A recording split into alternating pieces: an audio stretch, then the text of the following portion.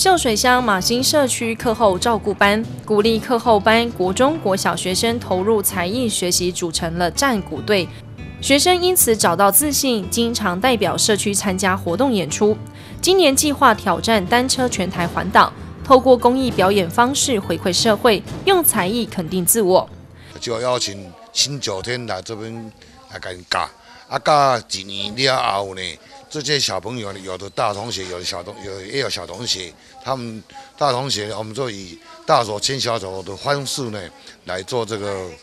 做这个活动啊，有大哥哥大姐姐们呢来教导这些小弟弟小妹妹们，这样呢，我们社区的三十五位的小朋友，每一个人都会打，所以我们呢要完成他们的梦想，他们都有一个梦想，就是要啊。带了战鼓，骑着脚踏车来做着环岛的这个交流。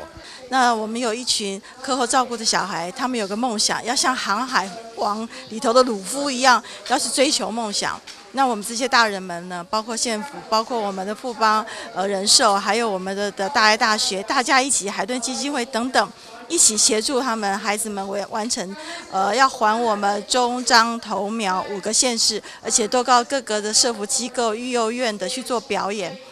阮平常是学袂着物件，因为大个人辛苦拢有家己的故事，所以阮想要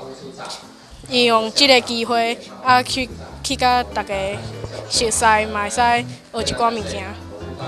透过战鼓，我们可以去跟别人分享我们的战鼓。让让大家更认识我们。为了这项环岛计划，社区努力募款筹措经费，学生们也拿出了逐梦的决心，